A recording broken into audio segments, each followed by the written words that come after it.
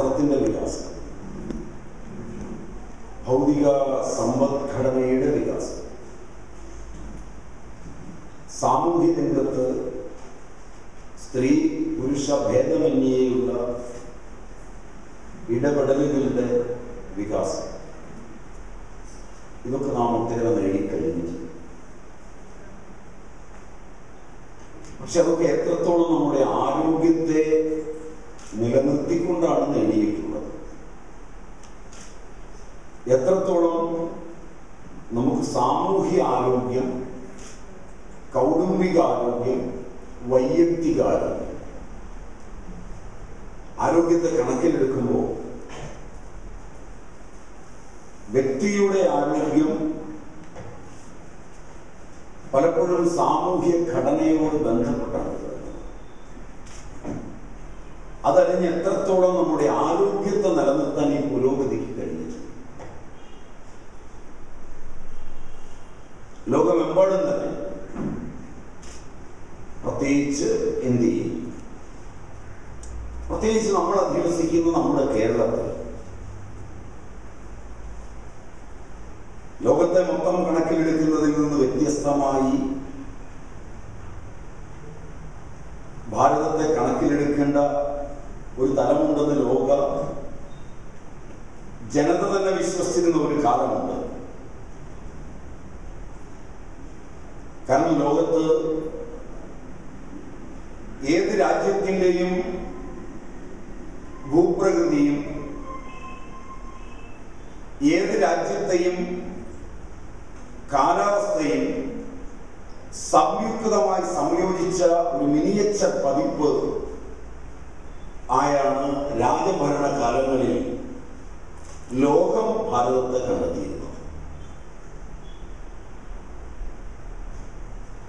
പർവതങ്ങൾ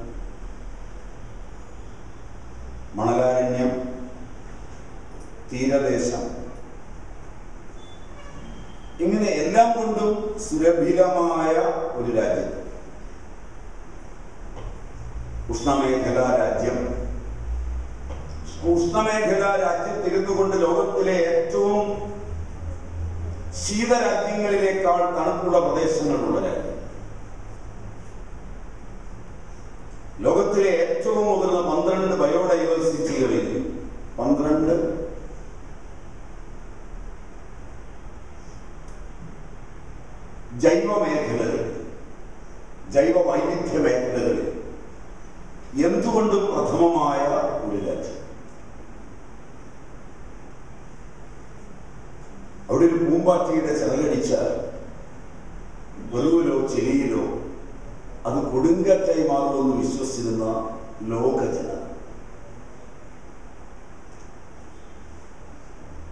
അവിടെയാണ് നാം ജനാധിപത്യത്തിലൂടെ ഒക്കെ വികസിച്ച് ഈ നിലയിലേക്ക് എത്തുമ്പോൾ ഇന്ന്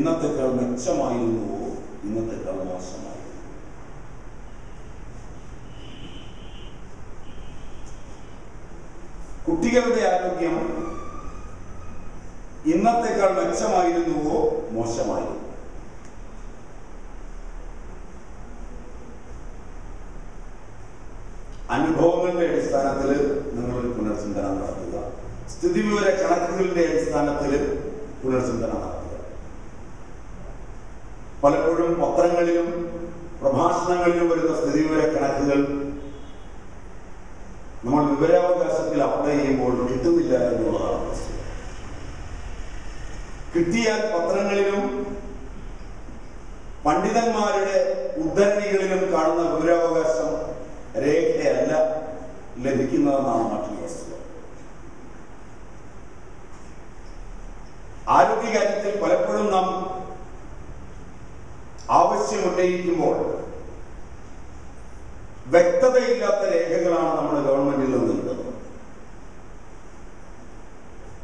അതിനെ വെച്ചാണ് നാം പലപ്പോഴും നിഗമനങ്ങളിലെത്തുന്നത് ഒരു ചെറിയ ഉദാഹരണം പറഞ്ഞാൽ പോളിയോ വാക്സിൻ കൊടുക്കുന്നു. നിങ്ങൾ ആരെഴുതി ചോദിക്കുകയാണ് എന്റെ കുട്ടിക്ക് പോളിയോ വാക്സിൻ കൊടുക്കണമെന്ന് നിർബന്ധമുണ്ടോ? ഇല്ല. എന്നാണ് വിവരാവകാശത്തിൽ എഴുതി തരുന്നത് വീട്ടിൽ വരുമ്പോൾ പോളിയോ എടുക്കാൻ വരുന്ന ഉദ്യോഗസ്ഥന്മാർ നിർബന്ധമാണെന്നാണ്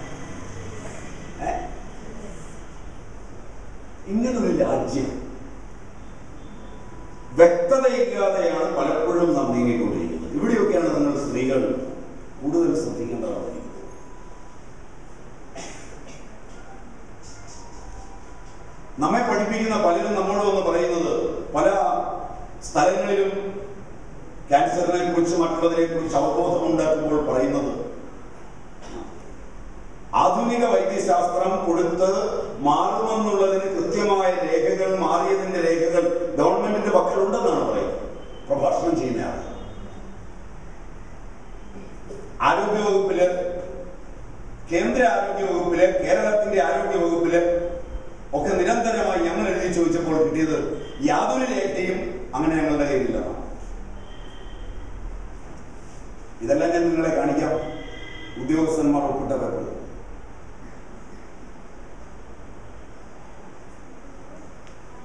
നാം പലപ്പോഴും ഇരുട്ടിലാണ് അതുകൊണ്ട് കൃത്യമായ ഒരു രേഖയുടെ വെളിച്ചത്തിൽ നമുക്ക് ഒരിക്കലും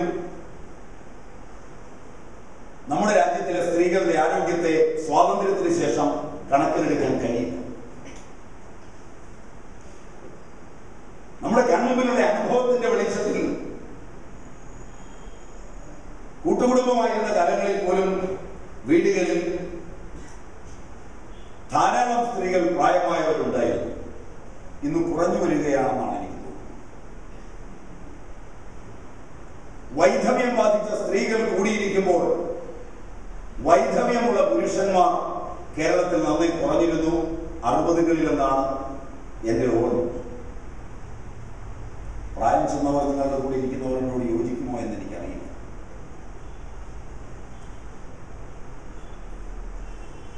ഞാൻ പറഞ്ഞത് ശരിയാണോ എന്നറിയണം.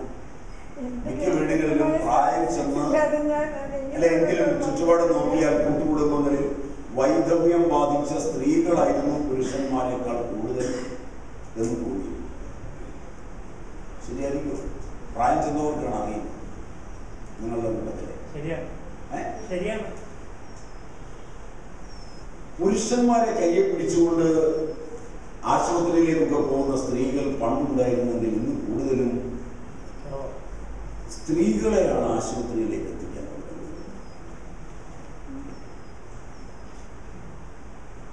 അങ്ങനെ ഒരു കാഴ്ചയാണ് കൂടുതൽ എനിക്ക് തോന്നുന്നത്. സ്ത്രീകളുടെ രോഗവും പ്രശ്നങ്ങളുമാണ്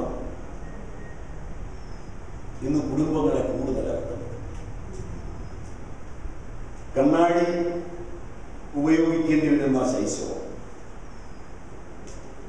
ചെവി കേൾക്കാത്തതിന് ഉപകരണങ്ങൾ ഉപയോഗിക്കേണ്ടി വരുന്ന ശൈശവം ഇന്ന് കൂടി വരികയും അതിനുള്ള ആശുപത്രികൾ വർദ്ധിക്കുകയുമാണ്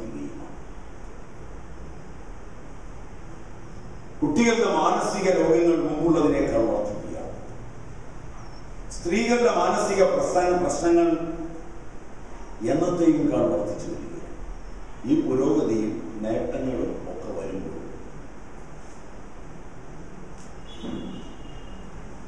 പഴയതുമായി താരതമ്യം ചെയ്യുമ്പോൾ സ്ത്രീകൾ എന്ന് പറയുമ്പോൾ ഏറ്റവും പ്രധാനപ്പെട്ടത് സൃഷ്ടിയുടെ രംഗവേദിയിൽ പ്രവർത്തിക്കുന്നവരാണ് പുരുഷനിൽ നിന്ന് വ്യത്യസ്തമായി സൃഷ്ടിയുടെ നല്ലൊരു കാലം സ്ത്രീയോടൊപ്പമാണ്. അതുകൊണ്ടായിരിക്കണം അമ്മ എന്നതിന് അതീവ പ്രാധാന്യമുണ്ടാകും എന്നാൽ സൃഷ്ടി കേന്ദ്രങ്ങൾ സ്ത്രീകളുടെ ലൈംഗിക അവയവമാണ് യൂട്രസ് ഓവറി സർവിക്സ് ബ്രസ്റ്റ്. ഇവയൊക്കെ മുമ്പെങ്ങുമില്ലാത്ത വിധം രോഗാതുരമാകുന്നു.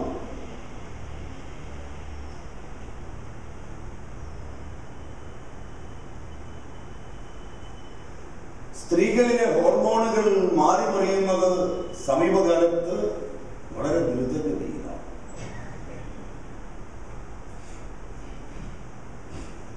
ഫർട്ടിലിറ്റി ക്ലിനിക്കുകളുടെ എണ്ണം കൂടുന്നത് നോക്കിയാൽ മുമ്പില്ലാതിരുന്ന സ്ത്രീ മന്ധ്യത ഇന്ന് വളരെ കൂടിയിരിക്കുന്നു എന്നുള്ളതിന്റെ ചരിത്രം നമ്മോട് പറഞ്ഞിട്ടുണ്ട്. വന്ധ്യത പുരുഷനിൽ മുമ്പ് കണ്ടിരുന്നതില്ലേ. സ്ത്രീയിൽ കാണാതിരുന്ന ഒരു ഹോർമോണുകളുടെ പരിണാമം സ്ത്രീയിൽ കാണാതിരുന്നത് ഇന്ന് മുമ്പ് എന്നത്തേക്കാൾ കൂടുതലാണ്. ഡക്ടിലസ് ഹോർമോണുകളുടെ താളക്രമങ്ങൾ തെറ്റുന്നത് തൈറോയിഡ് പിറ്റ്യൂറ്ററി അഡ്രീനൽ തുടങ്ങിയുള്ള ഡക്റ്റിലസ് ഗ്രന്ഥികൾ ആ ഹോർമോണുകൾ താളം തെറ്റും ടി ത്രീയിലും ടി എസ് എച്ചിലും ടി ഫോറിലും ഒക്കെ ആൺകുട്ടികളുടെ കാര്യത്തിൽ അങ്ങനെ പരിശോധന തുടങ്ങിക്കഴിഞ്ഞിട്ടില്ല അത്ര കാര്യമായി എന്ന് തോന്നുന്നു. ഏത് ലോകത്തുമായി ചെല്ലുമ്പോഴും പെൺകുട്ടികളോട് ഇത് പരിശോധിക്കാൻ പറയും. പരിശോധിച്ചു പോയാൽ വ്യത്യാസം കാണും. വ്യത്യാസം കാണുമ്പോൾ തന്നെ വിഷഗുരൻ. ചിലരെങ്കിലും മരണം വരെ മരുന്ന് കഴിക്കണം. പലവിധ വൈകല്യങ്ങൾക്ക് കാരണമാണ് കുട്ടികൾക്ക്. വിവാഹ ജീവിതം പ്രശ്നസങ്കുലമാണെന്നൊക്കെ അച്ഛനമ്മമാരെ ആദ്യം ധരിപ്പിക്കുകയും കുട്ടിയത് നെറ്റിലൂടെയും മറ്റും മനസ്സിലാക്കുകയും ഒക്കെ ചെയ്ത് അസ്വസ്ഥതകൾ വീടുകളിൽ പടരുന്നു എന്നുള്ളത് സർവസാധാരണമായി വരുന്നു എന്റെ അഭിപ്രായത്തിൽ നിങ്ങൾ ഏറ്റവും മുൻതൂക്കം കൊടുക്കേണ്ടത് ഒരു ഹൗസിംഗ് കോളനി അങ്ങനെയാണെന്ന് തോന്നുന്നു നിങ്ങൾ കൂടി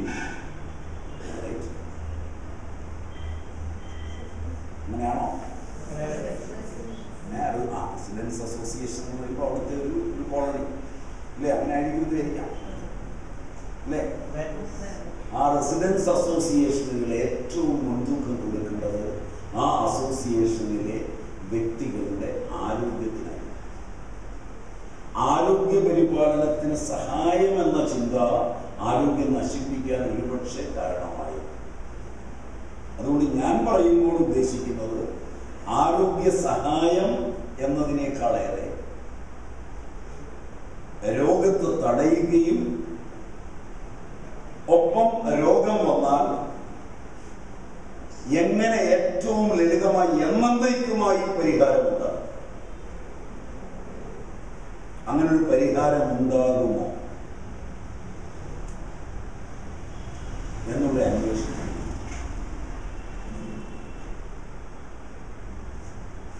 പ്രത്യേകിച്ച് ഭയപ്പെടുന്ന രോഗങ്ങളുടെ ഭയം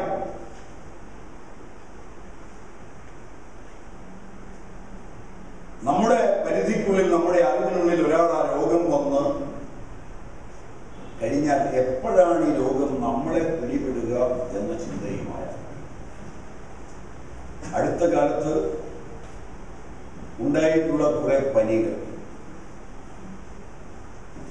ആയിരത്തി തൊള്ളായിരത്തി അറുപത് എൺപതുകളിൽ ഈ ഭയം നോവലിസ്റ്റുകൾ ഉണ്ടാക്കിയതാണെങ്കിൽ ഇന്ന് വൈദ്യശാസ്ത്രം ഉണ്ടാക്കുക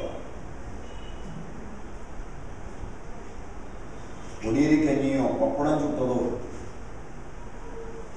പപ്പടക പുല്ലോ ഒക്കെ കൊണ്ട് വീട്ടിലെ അമ്മമാണ് ഏത് വീടെടുത്താലും ഒരു കഷായക്കലം കൊണ്ടുണ്ടായിരുന്നു. ഒരല്പം കഷായം വെച്ച് കൊടുക്കുമ്പോൾ പനിയൊക്കെ മാറുന്നതാണ് അന്ന് കണ്ടിരുന്നത്. അത് മാറിയിട്ട് ഭയത്തിലേക്ക് വരാൻ കാരണമായത് എന്റെ ഓർമ്മ ശരിയാണെങ്കിൽ ആ കാലഘട്ടത്തിലെ നോവലിസ്റ്റുകളുടെ സംഭാവന നോവൽ ഒരു സമയത്ത് ഇന്ത്യൻ ജനതയ്ക്ക് വളരെ പ്രിയങ്കരമാണ്. പ്രത്യേകിച്ച് യാത്രാവിവരണങ്ങളും നോവലുകളും ഒറ്റക്കാടിന്റെയും മുട്ടത്ത് വർക്കിയുടെയും പൊൻകുന്നം വർക്കിയുടെയും ഒക്കെ രംഗപ്രവേശം ചെയ്യുമ്പോൾ അതിലെ വളരെ ഭംഗിയായി എഴുതി പിടിപ്പിച്ചുകൊണ്ടുവന്ന കഥാപാത്രങ്ങൾ പനിയിലാണ് മരിച്ചിട്ടുള്ളത്. പനിക്ക് മരുന്നില്ല അന്നത്തെ വൈദ്യശാസ്ത്രങ്ങളിൽ ആയുർവേദത്തിലും മറ്റുമെന്ന് തോന്നലുണ്ടാക്കിയപ്പോൾ ഉണ്ടാക്കിയ ഭയം വളരെ വലുത് വീണ്ടും ആ ഭയം പനിയുടെ രൂപത്തിൽ സമീപകാലത്ത് കയറി വരുന്നു പനിയേക്കാൾ ഭയമുള്ളതാണ് എല്ലാത്തരം ക്യാൻസറുകൾ ആയിരത്തി തൊള്ളായിരത്തി അറുപത് എഴുപതുകളിൽ സിനിമ കൊട്ടകയിൽ മാത്രം ഉണ്ടായിരുന്ന ഒരു ലോകം.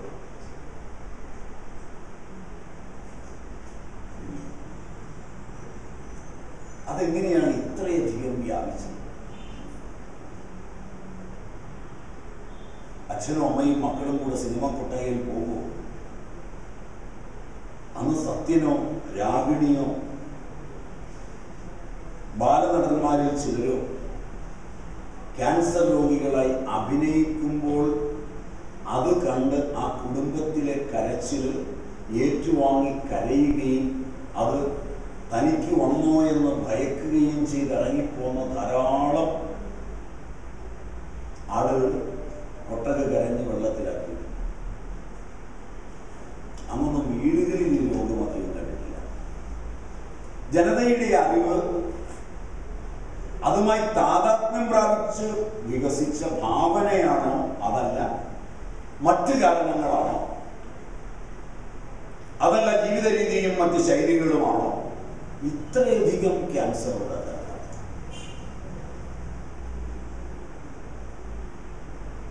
പ്രകൃതി ജീവനത്തിൽപ്പെട്ടവർക്കും ക്യാൻസർ ഉണ്ടാകും. ആയുർവേദം അനുസരിച്ച് ജീവിച്ചവർക്കും ഉണ്ടാകും. ആധുനിക വൈദ്യശാസ്ത്രത്തിന്റെ പരിശോധനകളിലൂടെ പോയവർക്കും ഉണ്ടാകും. എല്ലാ ജാതി മതസ്ഥർക്കും ഉണ്ടാകും.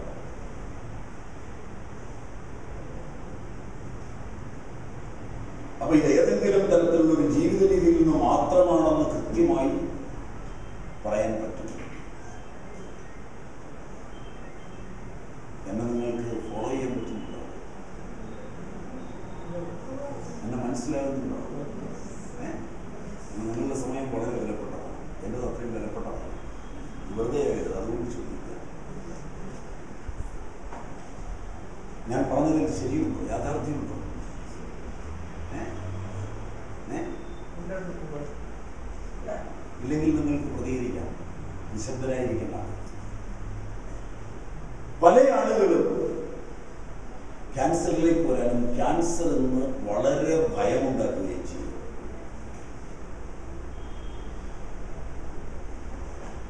ഈ ഭയമെല്ലാം ഉണ്ടാക്കുന്ന ക്യാൻസർ ഇത്രയധികം വർദ്ധിക്കുന്നു. ശാശ്വതമായി അടുത്തയാളിന് വരില്ല എന്ന്.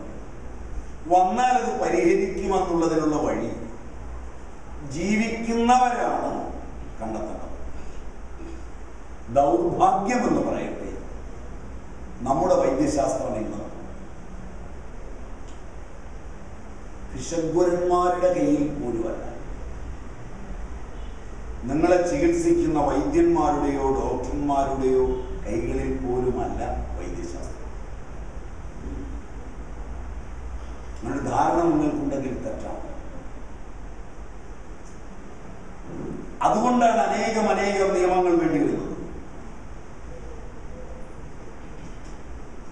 എസൻഷ്യൽ റെമഡീസിനെ കുറിച്ചുള്ള മൂന്ന് സമ്മേളനങ്ങൾ ഇപ്പോൾ കഴിഞ്ഞിട്ടുണ്ട്. മുന്നൂറോളം പേര് അംഗങ്ങളായി.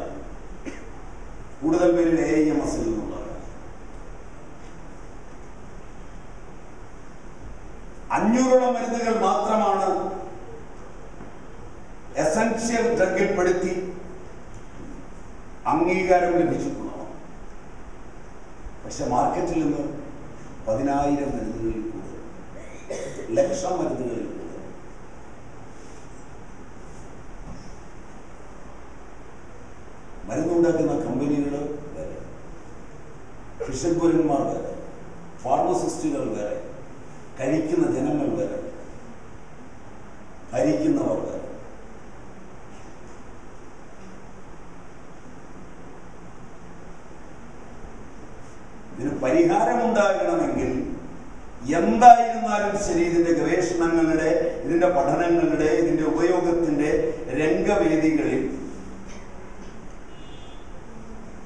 ഇതിലെ ദുഃഖം ഏറ്റുവാങ്ങുന്ന വീട്ടമ്മമാരുണ്ടായേ മതിയോ ഇന്ത്യ ഏറ്റവും ആരോഗ്യപരമായി നിന്നിരുന്നത് ഉയാൻസാങ്ങിന്റെയും ബത്തൂത്തയുടെയും ഒക്കെ ഗ്രന്ഥങ്ങൾ നിങ്ങൾ എടുത്ത് പഠിച്ചു നോക്കൂ. അമ്മമാരുടെ കൈകളിൽ ജനകീയ ഔഷധ നയവും ജനകീയ ആരോഗ്യ നയവും നിലനിന്ന കാലങ്ങളിലാണ്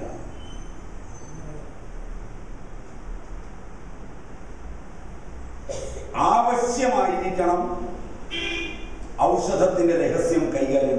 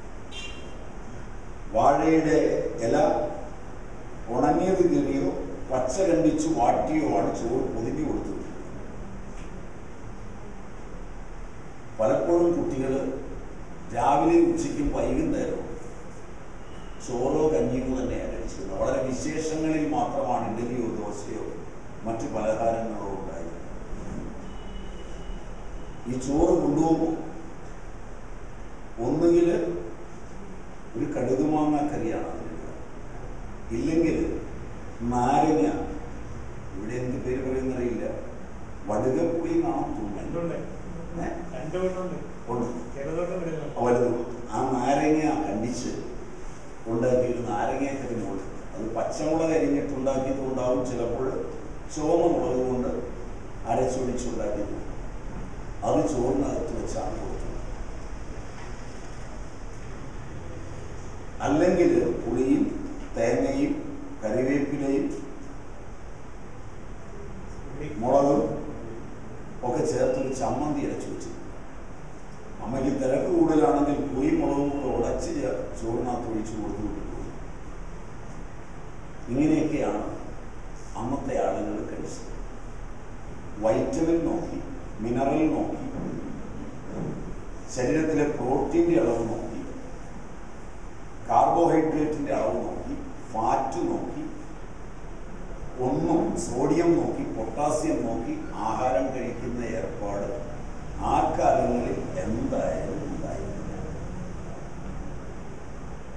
വിറക് കീറിയതും വെള്ളം കോരിയതും പാത്രം മഴക്കിയതും തുണി മുഴുവൻ കൊണ്ടുപോയി നനച്ചതും പശുവിനെ കുളിപ്പിച്ചതും പുല്ല് പറിച്ചതും സ്കൂളിൽ പോയി പഠിച്ചതും മുറ്റം തൂത്തുവാങ്ങിയതും ഒക്കെ പിള്ളേർ ഉൾപ്പെടെ വീട്ടിലെ അംഗങ്ങൾ ചെയ്ത പണികളുമായി താരതമ്യം ചെയ്താൽ ഇന്ന് ഒരു വീട്ടിലും മുതിർന്നവരാകട്ടെ കുട്ടികളാകട്ടെ അത്രത്തോളം പണിയെടുക്കുന്നില്ല.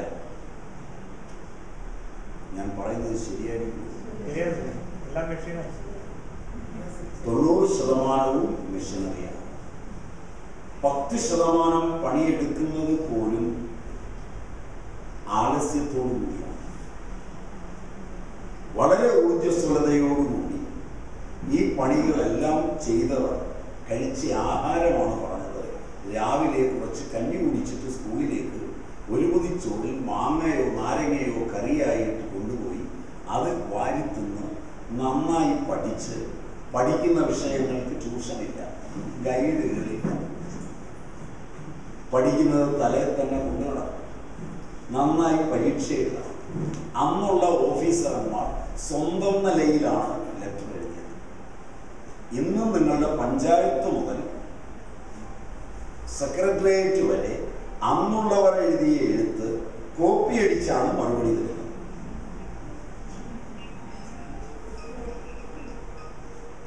നിങ്ങൾ എന്നോട് എന്നാണ് It's a factor. കാരണം അടുത്തിടെ ഒരു ലെറ്റർ അടിച്ച് കൈ കിട്ടിയത് അവിടെ കൊണ്ട് കൊടുത്തു ഒരെണ്ണത്തിന് മറുപടി അടിച്ച് കിട്ടിയതിലെ ഡേറ്റ് ആയിരത്തി തൊള്ളായിരത്തി മുപ്പത്തി ഒമ്പതാണ് ആ പഴയ ഡേറ്റ് ഉൾപ്പെടെ കോപ്പി അടിച്ചു. ആ ഡേറ്റ് മാറ്റാൻ മറന്നു. പഴയ ഏതോ I A S I C എസ്സുകാരൻ എഴുതി വെച്ച ലെറ്റർ നോക്കി എഴുതിയതാണ്.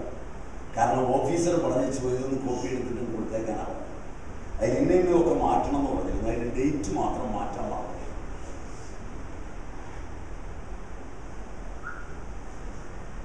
സ്വന്തം ധിഷണയിലാണ് വിധികൾ ഉണ്ടായിരുന്നത് സ്വന്തം ധിഷണ കൊണ്ടാണ് വാദിച്ചത്.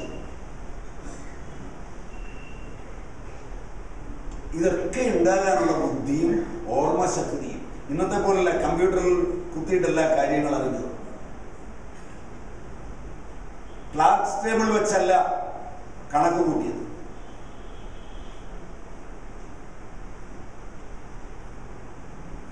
ഇത് മുഴുവൻ വെറും നാരങ്ങക്കറിയും ചോറും ഒക്കെ ഉണ്ടയാണ് ഹോർലിക്സ് മോൺവീറ്റ ബൂസ്റ്റ് ഒക്കെ നിങ്ങൾ മുതിർന്നവർ പീഡിയ ഷുവർ ഒക്കെ നിങ്ങൾ കുട്ടി വിചിത്രമായൊരു കണ്ടന്റുകൾ ഇതിലെ ഷോറിലും മറ്റും മോളിബ്ഡീനം വരെ. മോളിബ്ഡീനം കോപ്പറിന്റെ ജാരങ്ങൾ ബ്രെയിനിലെ കോപ്പർ പൂർണമായി എടുത്ത് കളയുന്നതാണെന്ന് ഏത് പറയും? പെയിന്റ് അതിലെ മോളിബ്ഡിനത്തിന്റെ ചെറിയൊരു അളവ് മതി. പശു ചത്തു കോപ്പർ തുടങ്ങി. ഷോറിന്റെ കണ്ടന്റ് എടുത്ത് നിങ്ങൾ വായിച്ചാൽ അതിൽ മോളിബ്ഡിനവും ക്രോമിയവും വരും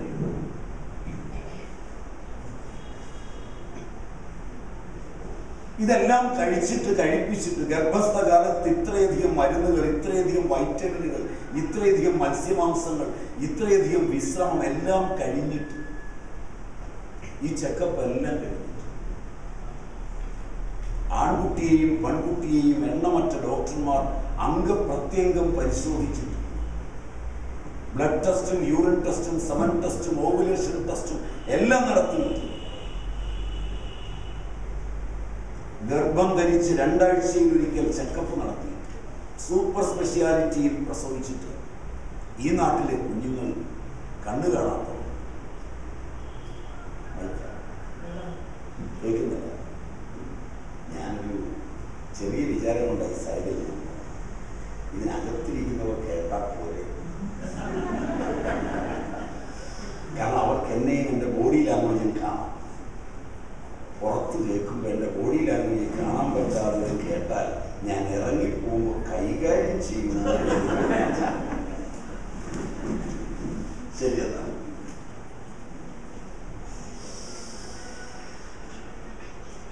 ഞാൻ പറഞ്ഞു നിർത്തത് എനിക്ക് മറവി വളരെ കൂടുതലാണ് അതുകൊണ്ട് ഞാൻ എവിടെയാ പറഞ്ഞു നിർത്തിയത്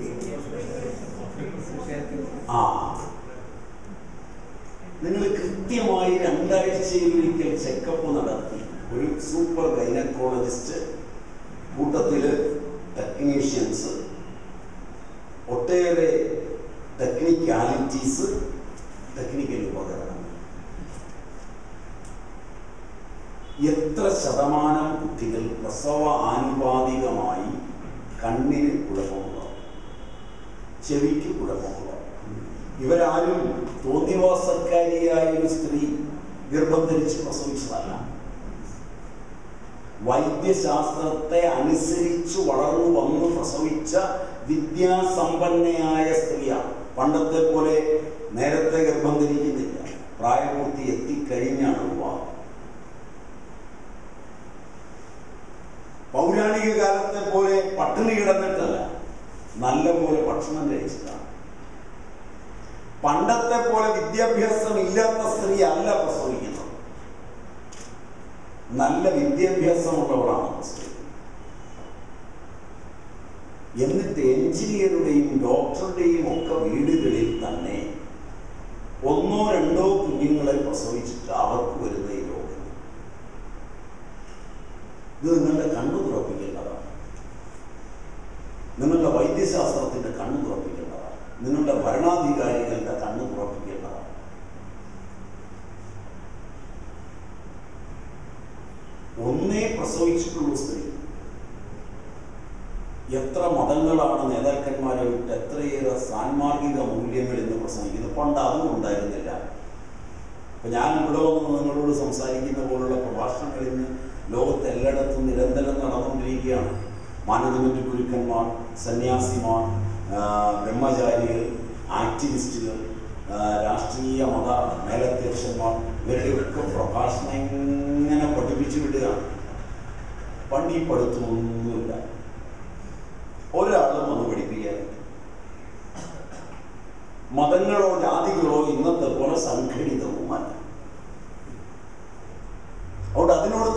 ചെയ്യുന്നതിൽ അർത്ഥം കുറവാണ്. ഇത്രയും സാഹചര്യങ്ങളിൽ നിന്ന് ഒരു സ്ത്രീ കണ്ണിന് പ്രശ്നമുള്ള കാലിന് പ്രശ്നമുള്ള എൻകഫാലൈറ്റിസ് ഉള്ള ഹൈഡ്രോകഫാലസ് ഉള്ള മൈക്രോകഫാലസ് ഉള്ള പെറ്റിക്മാരുള്ള ഗ്രാൻഡ്മാരുള്ള ഓട്ടിസം ഉള്ള ഡൗൺ സിൻഡ്രോം ഉള്ള കുട്ടികളെയൊക്കെ പ്രസവിക്കും. മൾട്ടിപ്പിൾ സിറോസിസും റുമാറ്റോയിഡ് ആർത്രൈറ്റിസും സിസ്റ്റമിക് ലൂപ്പസ് എറിത്തീമറ്റോസിസും ഒക്കെ അരങ്ങ് കുട്ടിക്കാലത്ത്.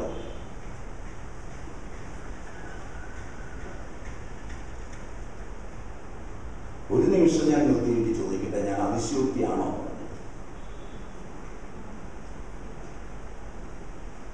ഞാൻ അതിശയോക്തിയാണോ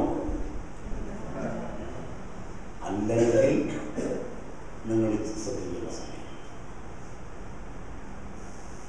ഞാൻ പറഞ്ഞത് അതിശയോക്തി അല്ലെങ്കിൽ നിങ്ങൾ നിങ്ങളുടെ പ്രവർത്തനങ്ങൾ വലിയ കാര്യങ്ങൾ പ്രശംസിച്ച് പറഞ്ഞത് കേട്ട് സന്തുഷ്ടരായിരിക്കുന്ന നിങ്ങളോട് ഞാൻ വന്ന് നിങ്ങളെ ദുഃഖിപ്പിക്കാൻ പറഞ്ഞതല്ല. നമ്മുടെ ലോകം ഇതാണെന്നുള്ള വസ്തുത ബോധ്യപ്പെടുത്താൻ പറഞ്ഞതാണ്.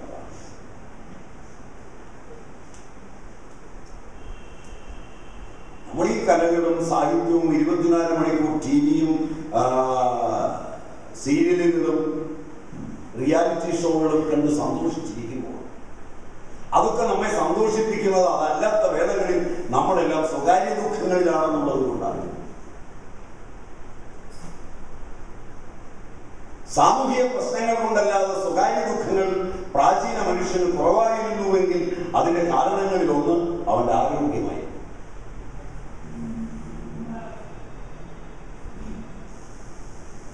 ഈ ആരോഗ്യത്തിന് ഞാൻ മുമ്പ് പറഞ്ഞ ഇന്ന് നിങ്ങൾ ഈ സാധനങ്ങളെല്ലാം കഴി കഴിച്ചിട്ട് എത്ര പേരാണ് താഴെ നാ നടയെന്ന് കയറി വന്നപ്പോൾ അണച്ചതെന്ന് ആലോചിച്ചു. അതും ചെറുപ്പക്കാർ.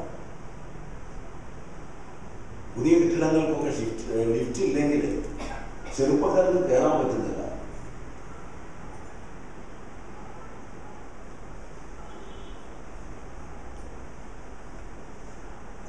വളരെ ചെറുപ്പത്തിൽ തന്നെ അണപ്പും ബഹളവും വരുന്നു ശ്വാസം കൊണ്ടു ഇതൊക്കെ കഴിച്ചിട്ടാണ് ഇത് വരുന്നത് ബയോ കെമിസ്ട്രി പരമായ ആഹാരമാണ് നിങ്ങൾ ഇന്ന് കഴിക്കുന്നത്.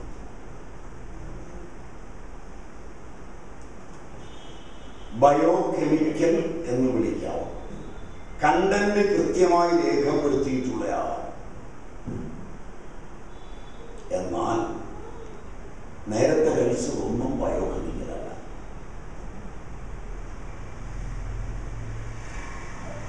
പഴയ ആളുകൾക്ക് ഒരു വിശ്വാസമുണ്ട്